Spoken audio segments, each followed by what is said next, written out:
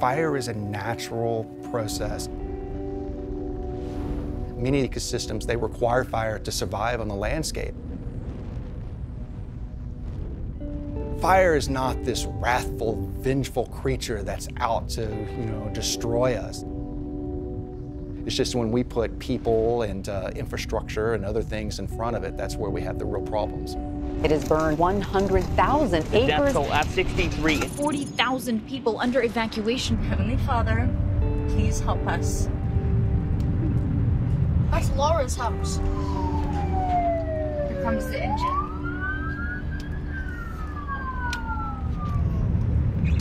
Okay, made it through it, guys. Made it through. That's amazing, you guys. That's amazing.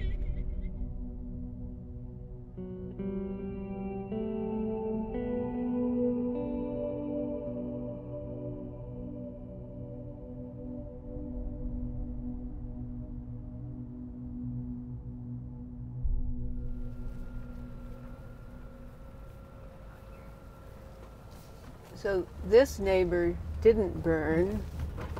This house is almost rebuilt already. Um, this house wasn't touched. Another neighbor lost everything here. So when we get just up to the driveway, and then it's quite clear that the house is burned down. it's the first time uh, I've become emotional about this. It's interesting. Um, yeah, just the fireplace standing.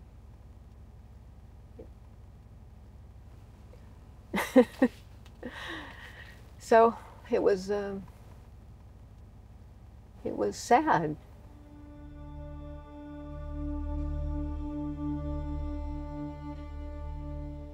I'll be 70 in a few months, and it's exhausting to think about starting again. Because I'd spent 15 years getting things the way I wanted them, and uh, had retired a few years ago. I'm sitting in the old sunroom, dining room.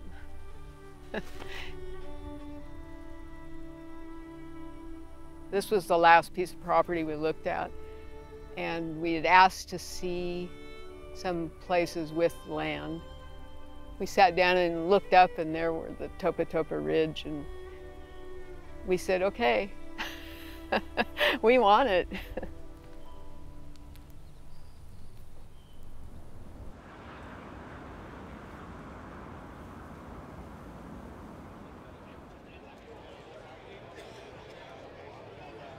we're starting to joke that there is no fire season and there's all fire season. There's just one season. Because the fires recently have been longer in duration, um, hotter in intensity, and more frequent. The weather is different than when I first started, that's for sure. When it's this hot in October, November, December, we're seeing less and less rain. Uh, the fuels, uh, the things that are out there to burn, the brush, the chaparral, the forest, it's much drier and it's more likely to burn hotter and longer. These used to be low frequency, high risk events, and now they're high frequency, high risk events. We're just operating as if it's the middle of summer all the time, and that's exhausting for everyone. Five, four, five. It looks like some sort of a bomb went off or something. That's how it looks after the fire goes through. LA County Fire Department is both an urban and a wildland department um, because we have geographical areas that encompass both.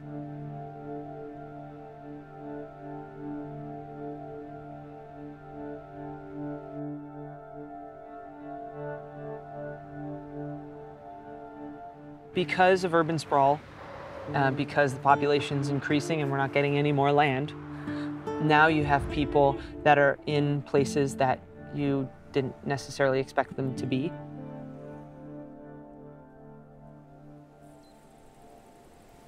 We first bought land in 2004. And we, we fell in love with it.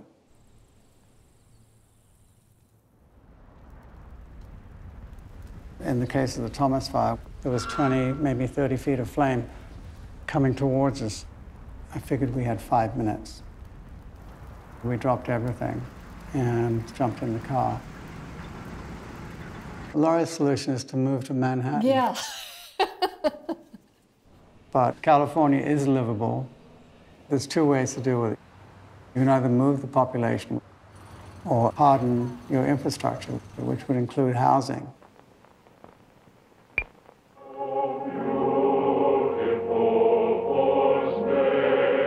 Fire management is definitely a social issue. The next time you come to the forest, do me a favor.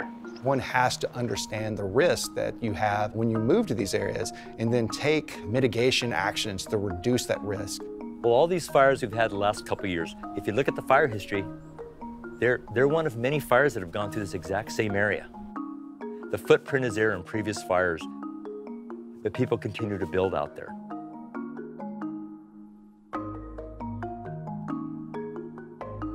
Now the fires are just getting bigger. The monster Carr fire obliterating neighborhoods. Yeah, the Woolsey fire, the Thomas fire, and the devastating Camp fire. Politicians trying to do the right thing, they say we're going to drop these sorts of uh, requirements for you to build in this area because we want to help you get back on your feet. We can turn around building permits for people who want to rebuild their homes. We're just setting ourselves up for the next disaster. I knew that there would be fire out here eventually. All those things go through my head when I'm thinking about rebuilding. You just start thinking, well, I don't want to live here anymore. But then what would I do with this land? We come out with this expectation almost from an urban area that, how are you going to deal with fire? Well, I'm going to call the fire department. In most of these very large fires, you're not going to have a fire truck show up your place. That's the problem. There's just not enough of us to go around.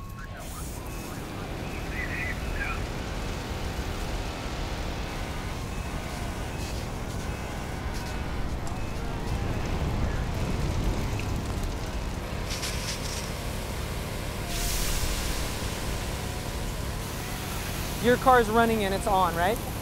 So if I say go, we'll just go. Okay. These just spots coming out of nowhere is what happened in the neighborhoods. Look at all of these fire engines and all of this water. They even have a water source. We don't usually have water sources. And yet with all those resources, look what we're looking at right now. That's just another spark that dropped in from the one on the left.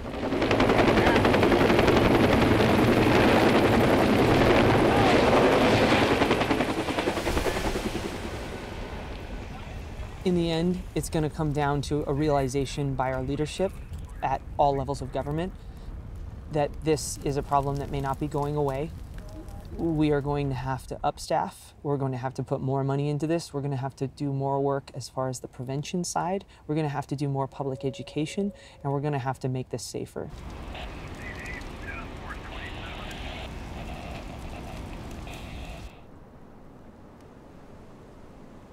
The Thomas fire lasted for, I think, 18 days we found that the house had survived. We could see it standing here amidst the carnage. Compared to the blackened earth around it, it looked absolutely pristine.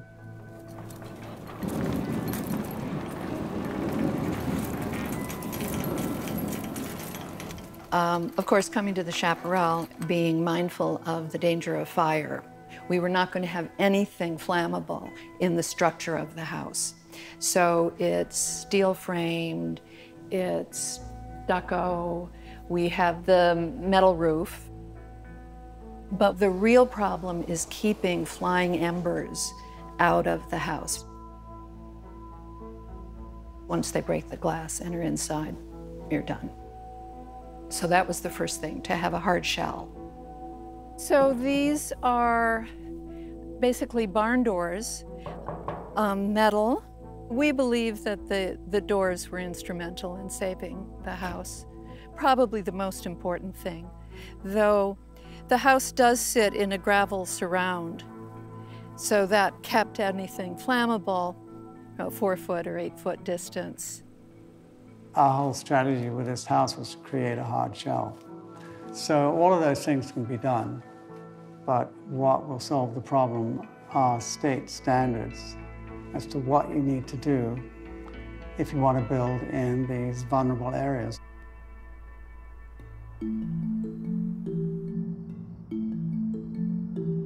You can see this is a good place. It's out of the city. It's it's uh, close to Escondido, but you feel like you're in the country out here. So you can see why everybody wants to develop here, and you can see why developers want to come out here and build high-density homes because there's a big demand for people to live out here.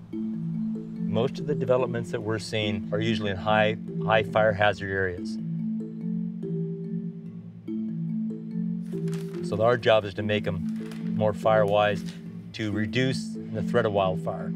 So we put all those things into our planning effort knowing that it's going to happen again and again.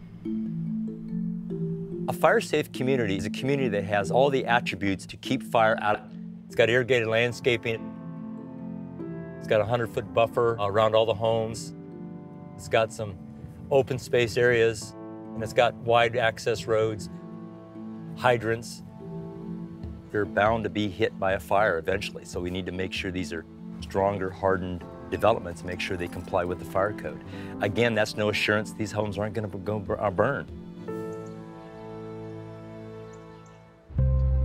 Humans have a lot to learn. We have a lot to learn about living, living in, in a fire ecosystem.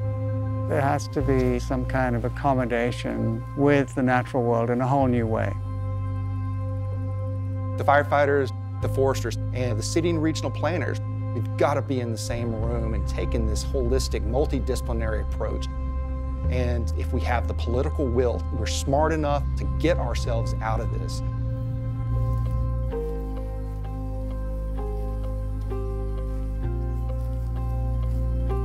We've been neighbors for as long as we've been up here, which is about um, 14 years ago.